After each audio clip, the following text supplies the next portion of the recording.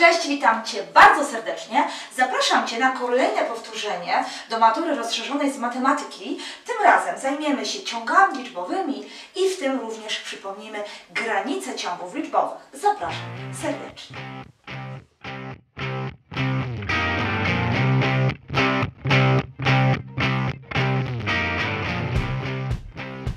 Do matury podstawowej z matematyki musisz znać doskonale ciąg arytmetyczny i ciąg geometryczny. Jeżeli przystępujesz do matury rozszerzonej z matematyki, oprócz tych dwóch ciągów, pasuje jeszcze, żebyś rozumiał i stosował w zadaniach nieskończony ciąg geometryczny, czyli konkretnie szereg geometryczny zbieżny. To dochodzi jeszcze do rozszerzenia na maturze, jak również musisz umieć liczyć granice ciągów liczbowych przy n zmierzającym do nieskończoności. I to właśnie będę chciała e, Tobie wytłumaczyć, przypomnieć w zadaniach, które przygotowałam na to nasze spotkanie.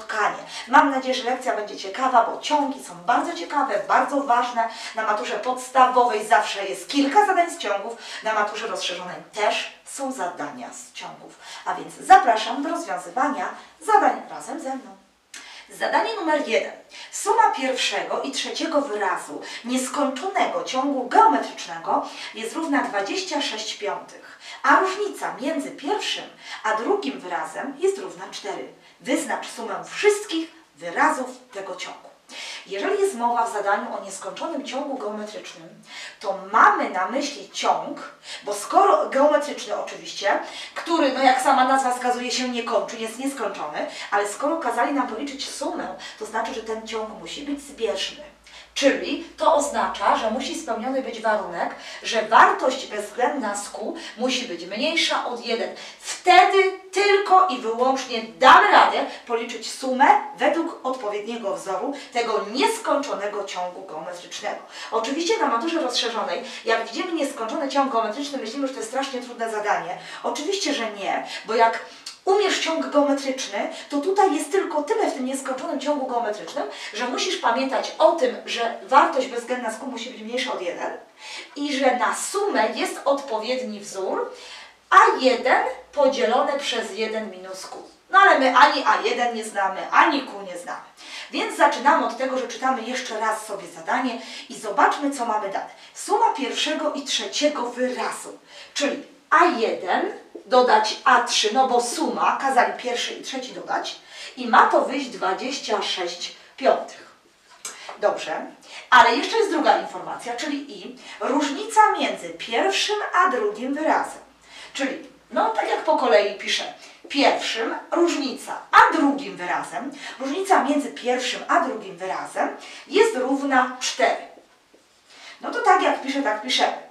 Czyli a1 minus a2 jest równe 4. I naszym zadaniem jest wyznaczyć sumę wszystkich wyrazów tego ciągu. Oczywiście mamy na myśli, że to jest ciąg nieskończony, przypominam jeszcze raz, bo na maturze rozszerzonej może to słówko nieskończony być. No ale my oczywiście musimy w ogóle wiedzieć, jak się zabrać na za zadanie z ciągów geometrycznych. Czyli musisz mieć opanowane ciągi geometryczne z podstawy, żeby zrobić to zadanie. Otóż, jak to się robiło? Przede wszystkim pamiętamy, że najważniejsze w ciągach czy to arytmetyczne, czy geometryczne, jest A1, pierwszy wyraz. I później konsekwentnie, czy to jest ciąg arytmetyczny, czy geometryczny, konstruujemy A2, A3, A4 i tak dalej, i tak dalej. Czyli A1 ja przepiszę, dodać, a zamiast napisać A3 zastosujemy zasadę występującą w ciągu geometrycznym, czyli, że to będzie A1 razy Q do potęgi drugiej. I to się równa 26 piątych. Niestety jest taki problem, że tego się dodać nie da. No, ale są dwie niewiadome. Jedynie co możemy wyciągnąć A1 przed nawias. Wtedy nam zostanie 1, dodać, to jest komplet. I z tego kompletu ja wyciągam A1, zostaje mi Q kwadrat. I to się równa 26 piątych. Wszystko ok, prawda? Ale co z tego dalej zrobić? No, najlepiej chyba by było to jednak no bo po coś my to zrobiliśmy? Jednak nie lubimy mieć dwóch niewiadomych, czyli wyznaczmy jedną niewiadomą, w związku z czym podzielmy obustronnie przez 1 plus q kwadrat. To jest liczba dodatnia, więc nie ma problemu, możemy dzielić. Czyli mamy a1 to się równa 26 piątych, ja tak zapiszę, i to będzie podzielone przez 1 plus e, q kwadrat ja tak zapiszę, żeby było szybciej, żebym nie musiała podwójnej kreski ułamkowej robić, no takie nam wyszła 1. No ale dobra, nic dalej nie umiemy. Przejdźmy do drugiego. Tak samo postępujmy, czyli A1 odjąć, a zamiast napisać A2 napiszemy A1 razy Q, czy też w skrócie A1Q. No znowu tego się nie odejmie. Tutaj tylko można wyciągnąć A1 przed nawias. Jak tu zabiorę A1, zostaje jedynka domyślna. I teraz z tego kompletu zabieram A1, zostaje mi minus Q. No i to się równa 4. Dzielę oczywiście obustronnie przez 1 minus q. Wiem, że zerem to nie będzie, bo tu mamy warunek, że wartość bezwzględna z q jest mniejsza od 1. Czyli jedynką nigdy q nie będzie, a wtedy by się to zerowało. I zapiszemy, że a1 to się równa 4 nad 1 minus q. No to ktoś powie tak, no to super, ale tak, tu Pani wyznaczyła A1 i tu jeszcze Pani wyznaczyła 1, to po co tak dwa razy? Po to, że jest metoda piękna w matematyce, porównywanie. Jak ja wyliczyłam teraz tu A1 i tu sobie wyliczyłam A1, to po to zrobiłam, żeby to porównać. No bo przecież to jest to samo A1, to jest ten sam ciąg. Więc układam równanie 26 podzielone przez 5 dodać 5q kwadrat równa się 4 podzielone przez 1 minus q. Piękna metoda mnożenia na krzyż, tutaj nam się pojawia, no więc mnożymy sobie, czyli mamy tak 26 minus 26q, to mnożymy z tym i teraz to mnożymy z tym, to będzie 20 dodać 20q kwadrat. Oczywiście ktoś mógłby się zastanowić, czy to równanie nie wymaga czasem napisania założenia. Oczywiście my tu widzimy, że w mianowniku w tym wypadku, prawda, czy tutaj jest zawsze liczba dodatnia przez ten kwadrat plus 1 to jest dodatnie, więc nie muszę pisać założenia. A tutaj to założenie, które napisałam, w zupełności mi wystarczy, żeby mianownik nie był zerem. Więc wcale nie muszę pisać dodatkowych założeń. Teraz ustawiamy to wszystko na jedną stronę. Ja proponuję może tu zostawić 0, czyli poprzenosić na tą stronę, bo tu mamy 20q kwadrat, przerzucę to będzie plus 26q i tu przerzucę to będę miała 20 minus 26, czyli minus 6. Podzielę obustronnie przez 2, no bo no więcej się nie da, prawda? Czyli będę miała 0 równa się 10q kwadrat plus 13q i minus 3. Wyszło mi oczywiście piękne, kochane przez nas równanie kwadratowe, które będziemy liczyć oczywiście deltą. Czyli delta to się równa b kwadrat, czyli 13 kwadrat to jest 169, minus 4 razy weźmiemy minus 3 najpierw, czyli będzie na pewno plus, czyli 4 razy 3 to będzie 12 razy 10, czyli mamy 120. To się równa 289.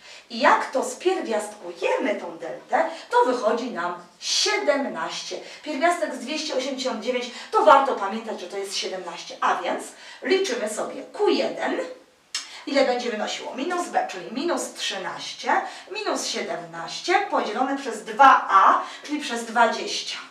Zatem będziemy mieć tak tutaj, minus 30 podzielone przez 20, czyli minus 3 drugie. To jest minus 1 cała i 1 druga. Niestety nie zgadza się z tym założeniem, to jest sprzeczność. Popatrz, jeżeli na to nałożę wartość bezwzględną, to mam 1 cała i 1 druga, a to wcale nie jest mniejsze od jedynki. No i teraz liczymy sobie Q2, to się równa minus b, czyli minus 13, plus pierwiastek z delty, czyli plus 17, podzielone w tym wypadku również przez 20. To się równa 4 podzielone przez 20 daje nam po skróceniu 1 piątą. Czyli 1 piąta na wartość bezwzględna zgadza się, że jest mniejsza od 1? Oczywiście, że tak. Czyli takie Q już mi odpowiada.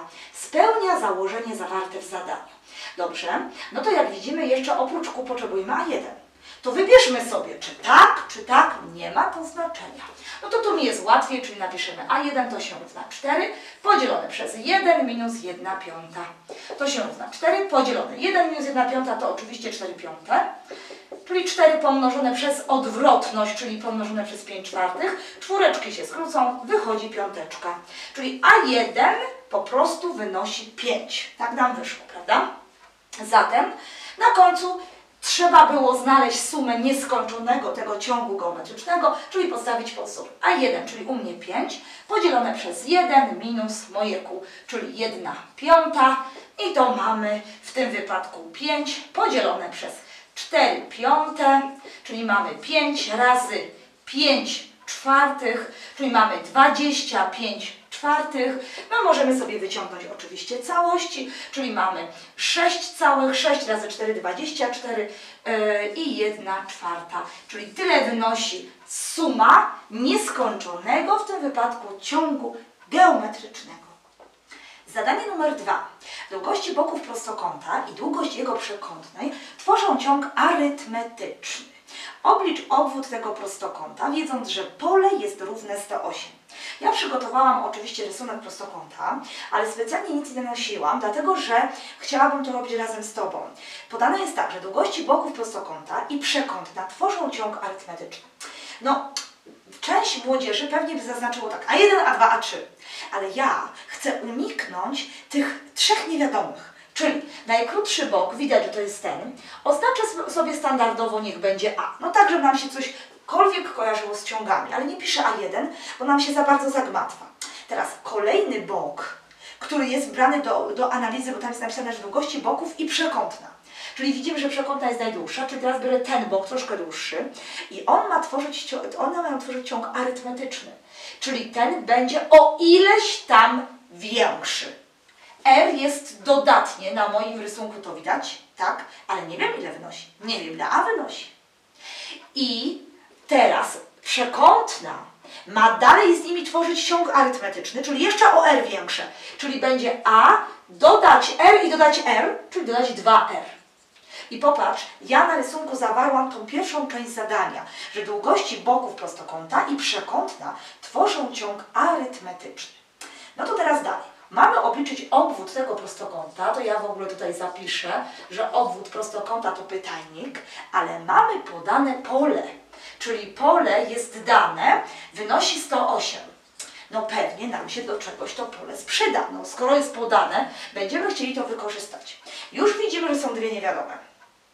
No od czego byśmy zaczęli? Mamy y, tutaj do dyspozycji albo zastosujemy najpierw wzór na pole, albo oczywiście to, co wszyscy kochamy i bardzo szanujemy, czyli zastosowanie w trójkącie prostokątnym, a tu widać, że jest kąt prosty, twierdzenia Pitagorasa. Ja bym od tego zaczęła. Czyli stosujemy twierdzenie Pitagorasa. a kwadrat dodać a plus r do kwadratu równa się a plus 2r do kwadratu. No i teraz podnosimy to wzorami skróconego mnożenia, podnosimy do kwadratu, czyli a kwadrat dodać 2ar dodać r kwadrat. To się równa.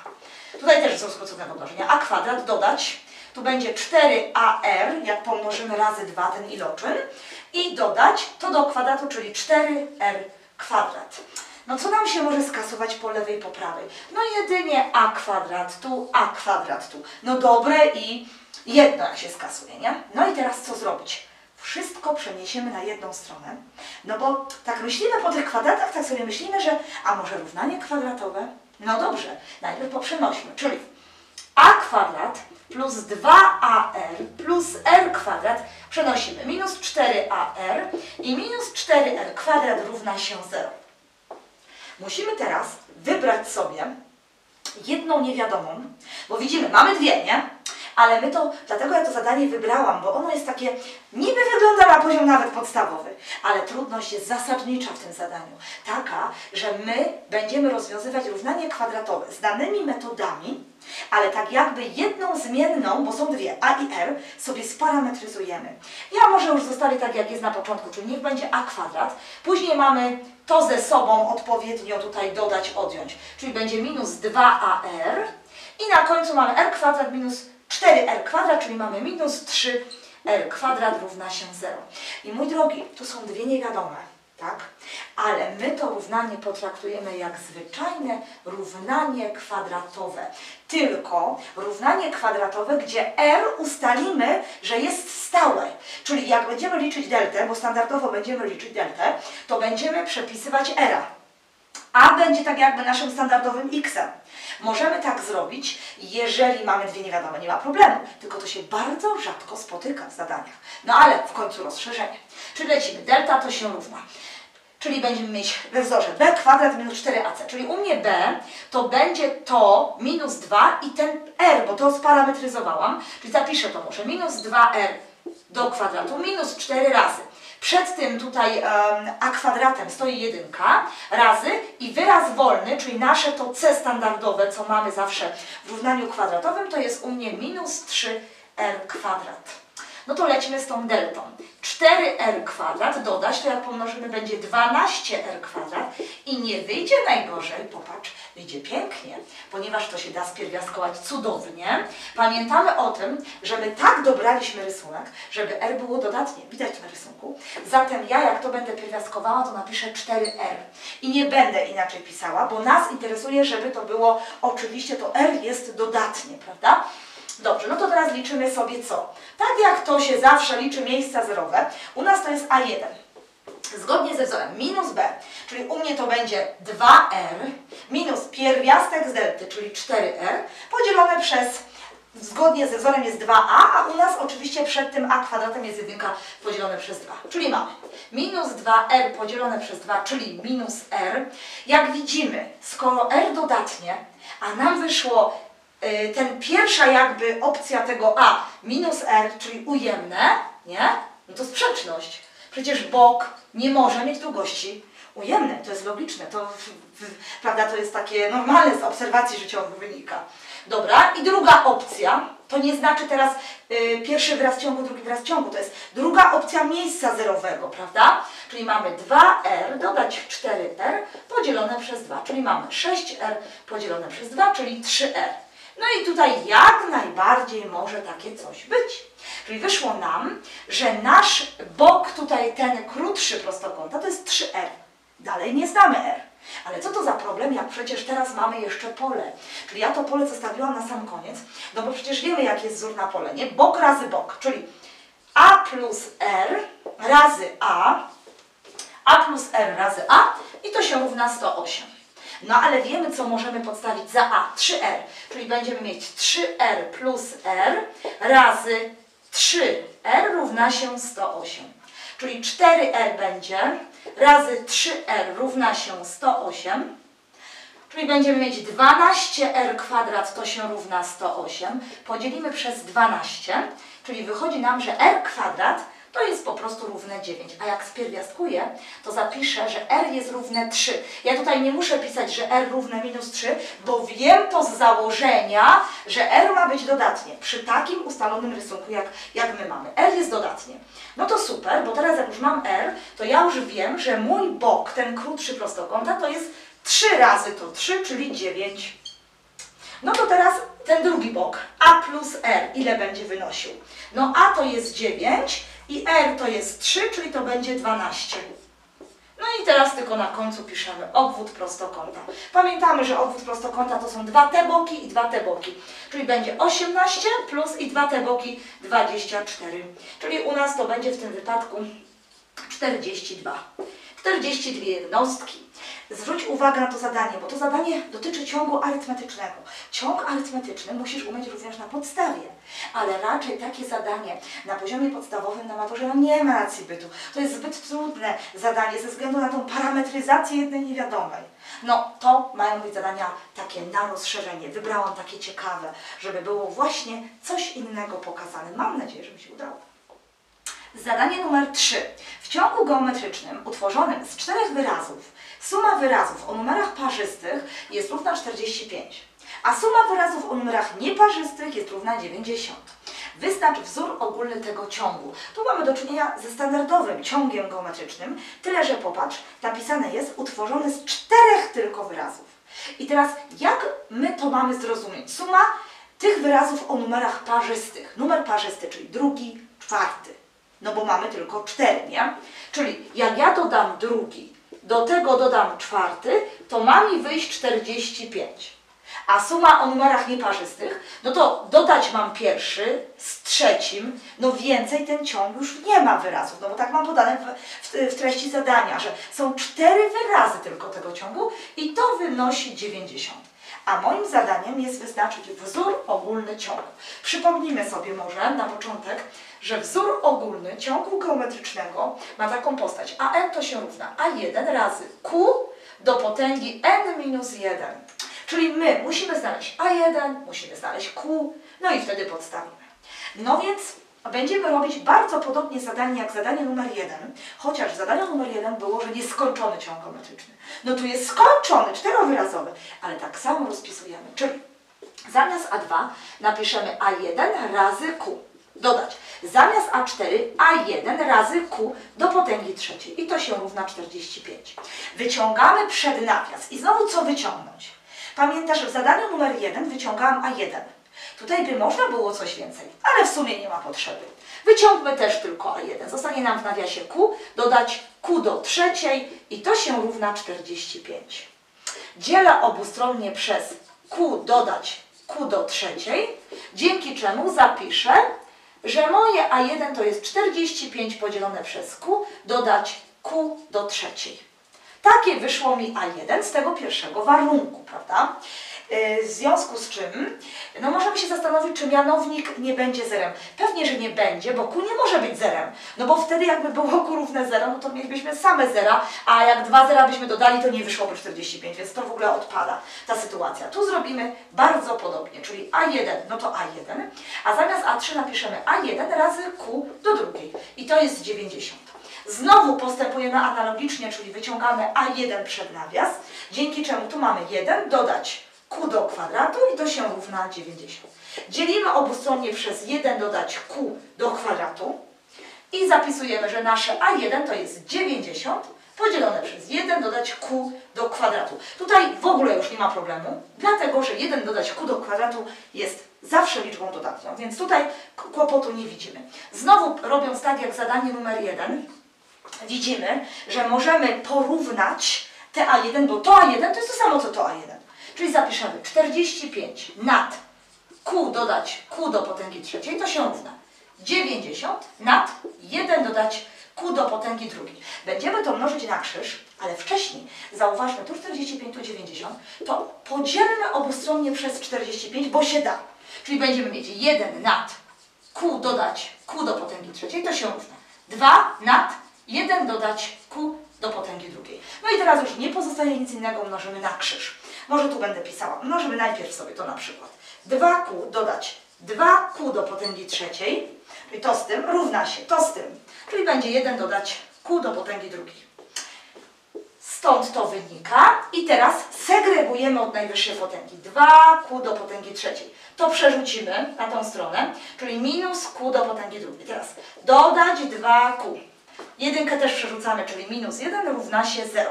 Wyszło nam równanie wielomianowe stopnia trzeciego, ale żeby nie myśleć tak bardzo trudnymi metodami, to pierwsza nasza myśl metoda grupowania. Bo być może, widzimy jak dobrze popatrzymy na współczynniki, to widzimy, że się da.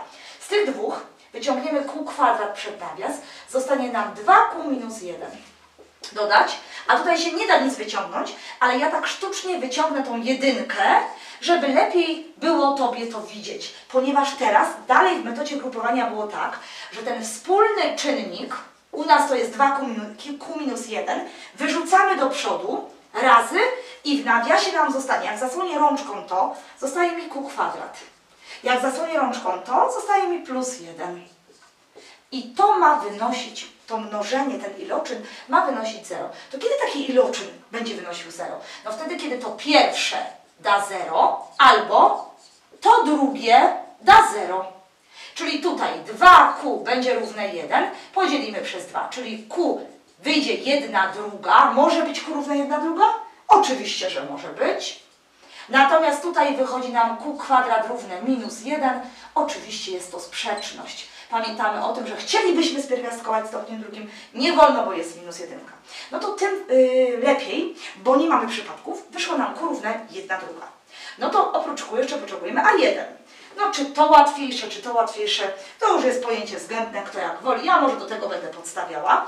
Czyli zapiszemy A1 to się równa 90 podzielone przez 1 dodać i to Q w kwadracie, czyli 1 druga w kwadracie to jest 1 czwarta. Czyli będzie 90 podzielone 1 dodać 1 czwarta to jest 1 cała i 1 czwarta, czyli to jest 5 czwartych. Czyli dalej będę pisała 90 i mnożę przez odwrotność. Kreskę tą ułamkową zastępuję, a to jest dzielenie, zastępuję mnożeniem przez odwrotność, czyli razy 4 piąte. No i teraz sobie oczywiście skracamy, tu będzie 1, tu będzie 18, bo 18 razy 5 daje nam właśnie 90 i 18 razy 4, no to będziemy mieć 72. Czyli A1 wychodzi nam 72. Więc teraz już na koniec ja prosiłam o wzór ogólny, to podstawmy za A1 72 razy, a za Q 1 druga do potęgi n minus 1. Jest to oczywiście dobrze, można tak zostawić. Natomiast gdybyś chciał się tym pobawić jeszcze, żeby, no nie wiem, żeby to troszkę inaczej, bo to jest super i nie trzeba tego już przekształcać, ale można by było tutaj pomyśleć, jak sobie z tymi potęgami poradzić. Popatrz, jedna druga do n razy jedna druga do minus pierwszej. Co mi to da? No da mi to może tak, że zapiszemy teraz 72 razy. Jedna druga do n to jest inaczej 2 do minus n. Pamiętamy, że możemy to odwrócić, ale wtedy jest wykładniku minus. Razy, to też odwracamy, czyli będzie razy 2. Jeszcze ładniej, 72 pomnożę przez 2, bo się da, to będzie 144 razy 2 do minus n. Czy ten wzór ogólny jest lepszy od tego? Wcale nie. Jest zapisany po prostu troszkę w innej postaci. Bardzo ciekawe zadanie, wymagające od nas myślenia, prawda, przekształcania i przy okazji przypominamy sobie też wzory ogólne związane z ciągami, w tym wypadku geometrycznymi. Zadanie numer 4 jest to dosyć trudne zadanie. Zadanie, gdzie będziemy wykorzystywać nieskończony ciąg geometryczny, ale w geometrii. W kwadrat oboku długości A wpisano okrąg. W ten okrąg znowu wpisano w kwadrat, w który znów wpisano okrąg i tak dalej. I tak dalej oznacza, że dzieje się to w nieskończoność. Oblicz sumę pól wszystkich kwadratów powstałych w ten sposób. Ja zaznaczyłam sumę pól tych kwadratów. E, zadanie trudne e, może nam się kojarzyć z fraktalami. Popatrz tutaj na ten rysunek, jak on pięknie wygląda, prawda? Ja mm, postarałam się na najładniej, jak to jest było możliwe, narysować, żeby przedstawić to, co jest istotne w tym zadaniu. Otóż mamy podane w zadaniu, że jest sobie kwadrat o boku długości A. I teraz w ten kwadrat wpisujemy okrąg, czyli najpierw ten na niebiesko analizujemy. Wpisałam okrąg i zastanówmy się, jak będzie wyglądał promień tego okręgu. Ja ten promień okręgu oczywiście powinnam tak poprowadzić, prawda?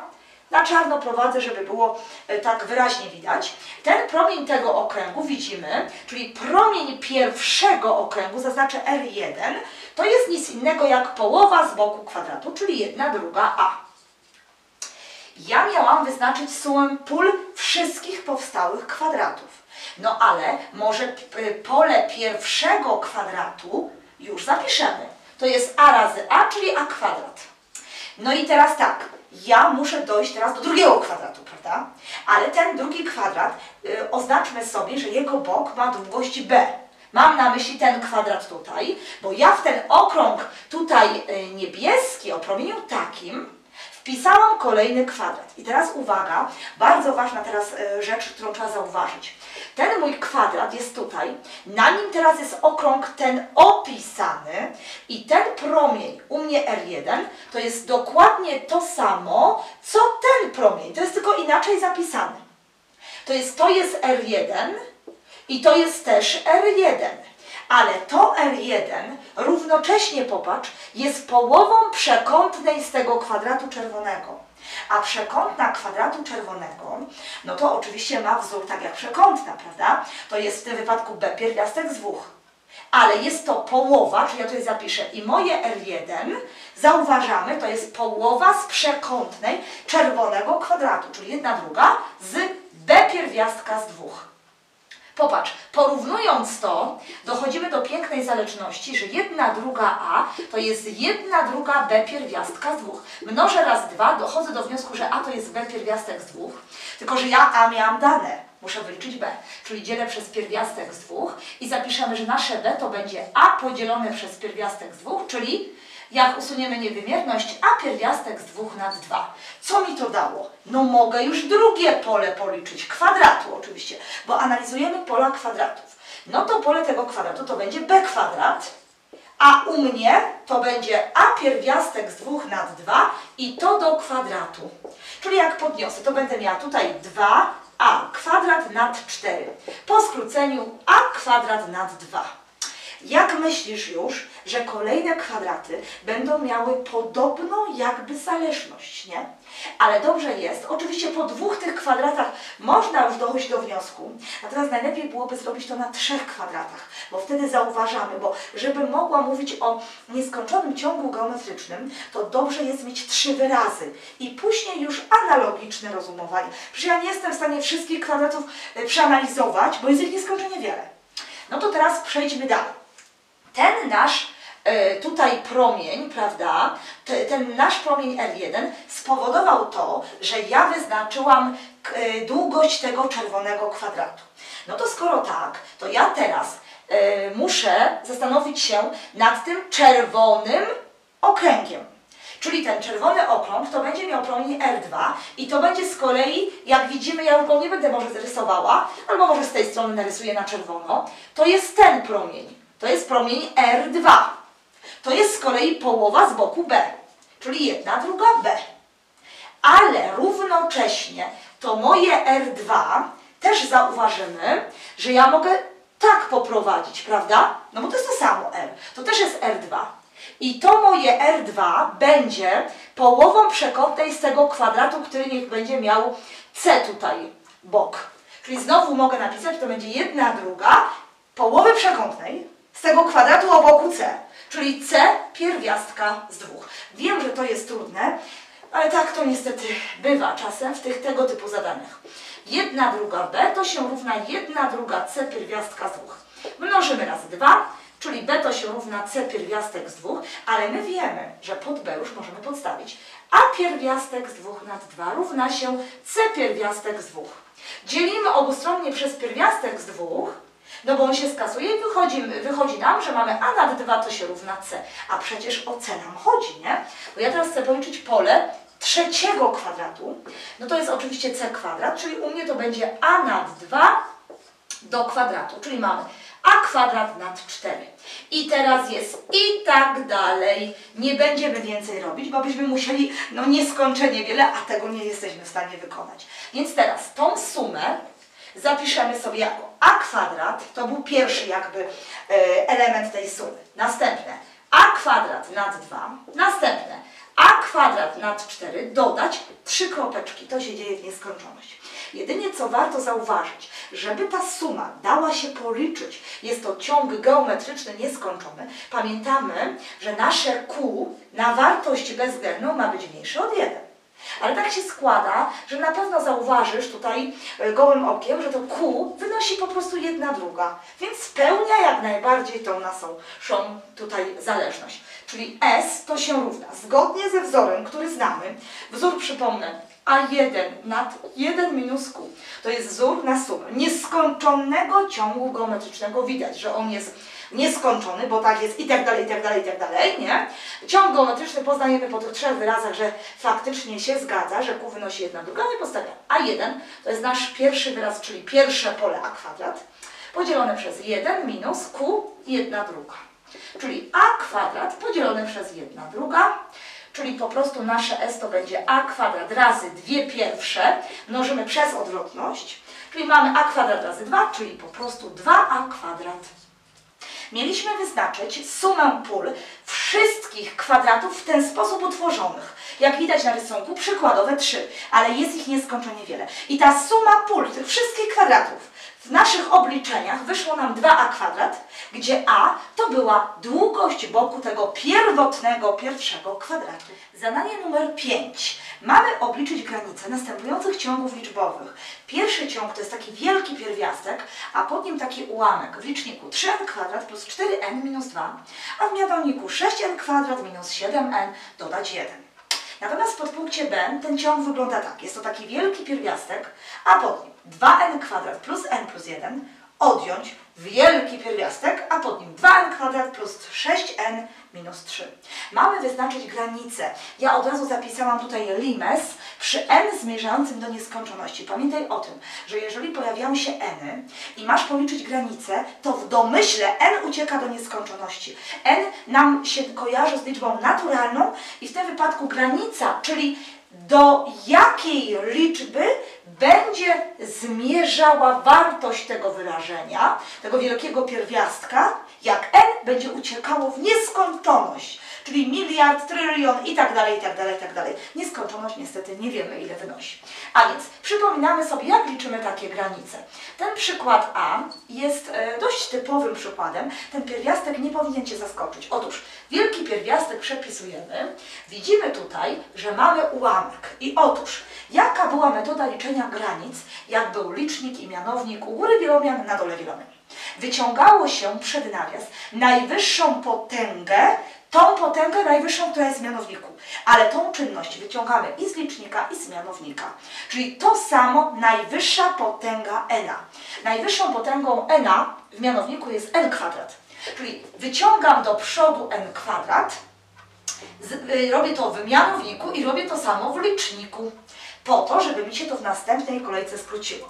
No dobrze, czyli jak zabiorę n kwadrat, to mi zostaje tutaj 6 minus, tu jak zabiorę n kwadrat, to tak jakby podzielę przez n kwadrat, czyli zostaje mi 7 nad n, bo jak później pomnożę, to mam mi wrócić do tego samego, dodać i tutaj no, muszę podzielić przez n kwadrat. Niestety nic nie skrócę.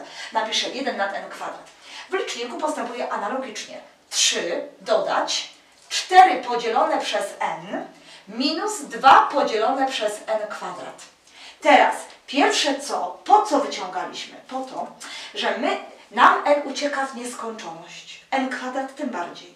n kwadrat ucieka w nieskończoność i mamy nieskończoność nad nieskończoność. Nie wiemy, ile wynosi nieskończoność nad nieskończoność, ale popatrz, poprzez tą metodę my, nam się to n kwadrat skróciło i mamy lepiej. My mamy lepiej teraz, prawda, bo nie mamy tego problemu. No więc możemy to jeszcze raz przepisać, prawda, żeby tak ładnie wyglądało. Wielgachny pierwiastek, i pod nim będzie 3 dodać 4 nad n minus 2 nad n kwadrat, na dole 6 minus 7 nad n, dodać 1 nad n kwadrat. I teraz, jeżeli otrzymujesz taki człon, że masz ułamek, ale licznik zbiega Ci do liczby, do siódemki, do piątki, do dwójki, prawda? Jest to liczba, a w mianowniku ucieka Ci mianownik do nieskończoności. Czyli masz na przykład 7 nad trylion, to to jest bardzo, bardzo, bardzo malutka liczba, która ucieka do zera.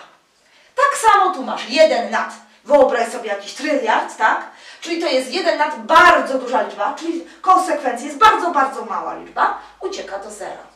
Analogicznie, tu mamy tą część do zera uciekającą i tutaj. Ten zapis ze strzałeczką to jest dokładnie to samo, jak napisała Limes, tylko skrótowy zapis. I teraz popatrz, jak to ucieka do zera, to do zera, to do zera, to do zera, to pod pierwiastkiem zostaje mi po prostu 3 plus 0 minus 0, czyli 3 u góry, a na dole 6 minus 0 plus 0, czyli po prostu 6. Czyli mam po prostu pierwiastek z jednej drugiej, Czyli mam jeden nadpierwiastek z dwóch, jak sobie to zapiszę. No i usuwam niewymierność standardowo i mamy pierwiastek z dwóch nad dwa. Popatrz, kto by przypuszczał, że granica takiego ciągu, danego w postaci takiego wielkiego pierwiastka, a pod nim jest iloraz dwóch wielomianów i ta granica to jest pierwiastek z dwóch nad dwa. Czyli przy n uciekającym w nieskończoność te wartości tej, tego ciągu uciekają do pierwiastka z dwóch na dwa. No dobrze, to teraz będziemy robić podpunkt B. Widać, że podpunkt B jest trudniejszy. Popatrzmy dlaczego. Dlatego, że jeżeli moje n ucieka w nieskończoność, to n kwadrat też ucieka w nieskończoność. Czyli moglibyśmy tak pomyśleć nad tym, że to, co jest pod pierwiastkiem, ucieka w nieskończoność, Czyli cały pierwiastek ucieka w nieskończoność. Podobnie ten pierwiastek ucieka w nieskończoność. I mamy znowu nieskończoność minus nieskończoność. Symbol nieoznaczony. My nie wiemy, ile wynosi nieskończoność minus nieskończoność. A więc musimy mieć na to pewną metodę. Otóż tak się składa, że tak sobie myślimy, a jak pozbyć się tych wielgachnych pierwiastków? Otóż, jakie działanie może nam skasować pierwiastek? Potęgowanie a konkretnie w tym przykładzie wzór skróconego mnożenia. My ten e, nasz nawias będziemy rozszerzać, rozszerzać będziemy odpowiednio przez licznik i mianownik, ale tak, żeby można było zastosować wzór skróconego mnożenia, żeby się pozbyć tych pierwiastków. Taka jest metoda, czyli będziemy mnożyć przez pierwiastek, a pod nim 2n kwadrat plus n plus 1, dodać pierwiastek, a pod nim 2n kwadrat plus 6n minus 3. Ale to samo muszę napisać w mianowniku, dlatego że ja nie mogę zmienić mojej wartości liczbowej tego wyrażenia, tego ciągu, z którego liczę granicę. Więc jak ja mnożę licznik i mianownik, to ten licznik i mianownik musi być taki sam. Co mi to dało? Popatrz. Dało mi to to, że ja teraz mogę tutaj napisać tak jakby nad jeden i teraz mnożę sobie licznik z licznikiem, mianownik z mianownikiem. Limes przepisujemy przy n uciekającym w nieskończoność i teraz popatrz tak. Jak ja będę mnożyła ten licznik z tym licznikiem, to będę miała tak. a tak jakby tu mamy minus b, czyli ten mój pierwszy pierwiastek to jest a, ten drugi pierwiastek to jest b i pomiędzy nimi jest minus, czyli jest a minus b. A tutaj mam, ten pierwszy pierwiastek to jest to samo a, ten drugi pierwiastek to jest to samo b, w środku mam plus. Czyli był taki wzór skróconego mnożenia na a minus b pomnożone przez a plus b. To było a kwadrat minus b kwadrat. A właśnie ten kwadrat zlikwiduje mi ten wielgachny pierwiastek. I wtedy będę miała tak. 2n kwadrat plus n plus 1, a kwadrat zlikwidowało mi ten pierwiastek wielki, odjąć b kwadrat likwiduje ten drugi pierwiastek wielki. No, zlikwidowały mi się pierwiastki, ale w liczniku. A w mianowniku mam jeden razy to, no to muszę to przepisać. Czyli ja to przepisuję tak jak leci, no, y, ktoś sobie tak teraz może pomyśleć, że dobrze, w liczniku mam lepiej, za to w mianowniku gorzej. Oczywiście, ale wiesz jaki jest nasz cel? Że my teraz będziemy wiedzieć, co zrobić, bo my, y, my w podpunkcie A robiliśmy tak, że mamy licznik i mianownik.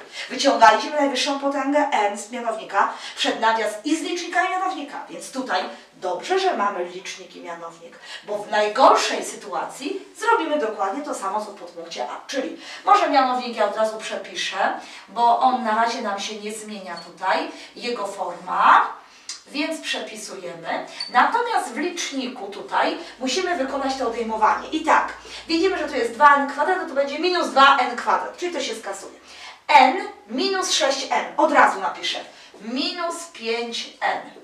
Dalej będzie 1 minus minus 3, czyli po prostu 1 plus 3, czyli 4. To się równa. No dalej jest problem, nie?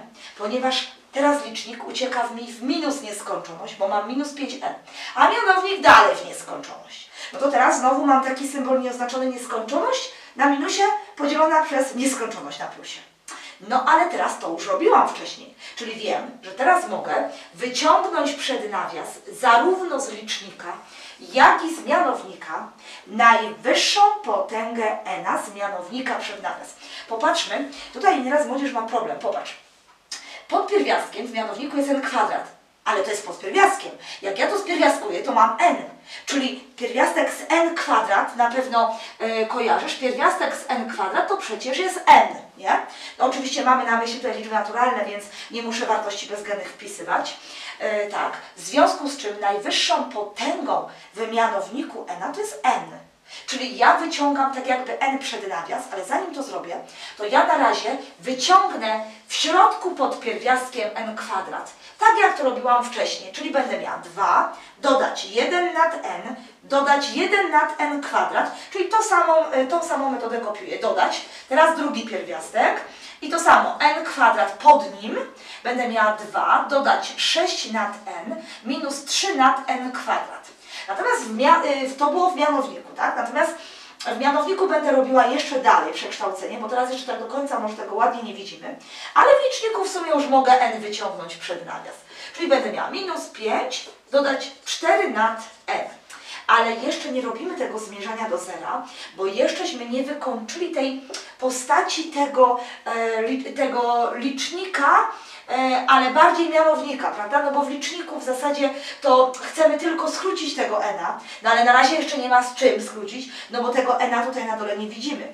Natomiast niektórzy pewnie już widzą, że jak się spierwiaskuje to n kwadrat, to co powiedziałam wcześniej, to będzie n, ale żebyśmy to ładnie zobaczyli, to ja to po prostu porządnie jeszcze zapiszę, czyli na razie licznik przepisuję, nic z nim nie robię. Natomiast w mianowniku tak, pierwiastek z n kwadrat to jest n, ale dalej pierwiastek będzie, bo pod tym pierwiastkiem zostaje jeszcze to. I pod tym pierwiastkiem drugim zostanie jeszcze to, więc to muszę przepisać. 2 dodać 1 nad n, dodać 1 nad n kwadrat, to jest pod tym pierwszym pierwiastkiem. Dalej dodać, teraz pierwiastek z n kwadrat to jest znowu n i przepisuję pierwiastek i pod nim 2 dodać 6 nad n i minus 3 nad n kwadrat. Jeżeli widzisz już, że Ci się te n skrócą, to dobrze, ale ja to jeszcze oczywiście zapiszę, tak że już byłoby super pięknie, żeby się już nie, y, nie było jak przyczepić. Czyli licznik jeszcze przepiszę, chociaż już bym chciała to n skrócić. Ale popatrz, tu mamy n i tu mamy to n. Tu mamy dodawanie przed tym, prawda? Więc ja to wyciągnę przed nawias, żeby już ten nawias był i żeby było pięknie do skrócenia. Czyli zostanie mi ten pierwiastek pierwszy. 2 dodać 1 nad n, dodać 1 nad n kwadrat, dodać. I ten pierwiastek z drugi będzie 2 dodać 6 nad n minus 3 nad n kwadrat. I teraz, no cel mój jest taki jak w podpunkcie A, skrócić te n. W końcu to osiągnęłam. Oczywiście jak szybciej to widzisz, to możesz sobie ze dwa przekształcenia szybciej zapisać. No i to się równa. I teraz 4 nad n, czyli 4 nad bardzo duża liczba, zmierza do zera.